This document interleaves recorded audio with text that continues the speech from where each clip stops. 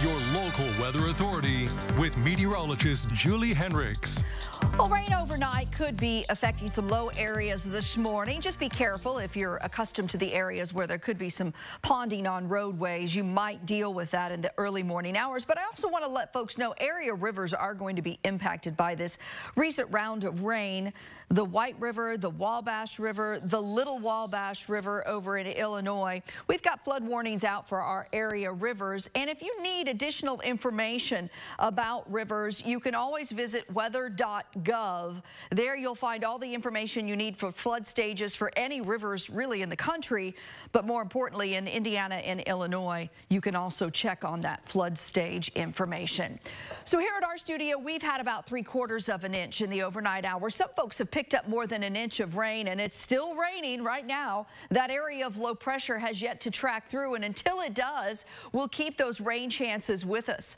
This is a live look right now with our Dorsett Automotive Doppler radar and clearly we've got a wet morning out there. Almost everyone in the Wabash Valley right now seeing rain coming down and there are some heavier pockets in many locations here. So where you see some of that yellow and orange shading, that's more moderate rain showers currently coming down this morning.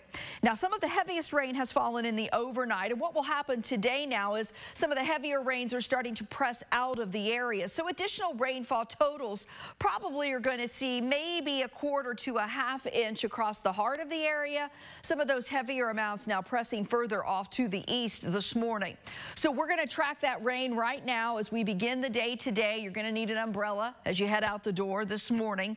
We'll get a little break in the action, but in the backside of this low pressure, I don't think we're completely done with those rain chances as we'll see some more scattered areas of rain later this evening and tonight and even into the start of the day tomorrow. Once again, we're not going to completely take rain chances out of the forecast until later Friday and into the weekend. Once that low pressure is far enough away from us, we'll dry things out. We'll see some sunshine and we'll also start to warm back up once again. The winds are going to pick up speed. As I mentioned going uh, into the break, we are going to see those winds kind of start to pick up speed. So it'll be a little breezy out there through the course of the day today, into the afternoon, into the overnight, and right on into the day tomorrow. I think we'll see these winds. And again, these are sustained winds of around 20 to 25 miles per hour. Gusts could be higher than 30 miles per hour, but those winds will start to lighten as we get into the upcoming weekend. Now, temperatures this morning are in the 50s that's pretty much where they're going to stay all day. We're not going to warm up today. So temperatures where they are this morning is where they'll be. We'll cool in the overnight though, and tomorrow morning we're going to start in the 40s. So tomorrow you may need a rain jacket as you start the day, but it might want to have a lining in it because it's going to be a little chilly out there early tomorrow.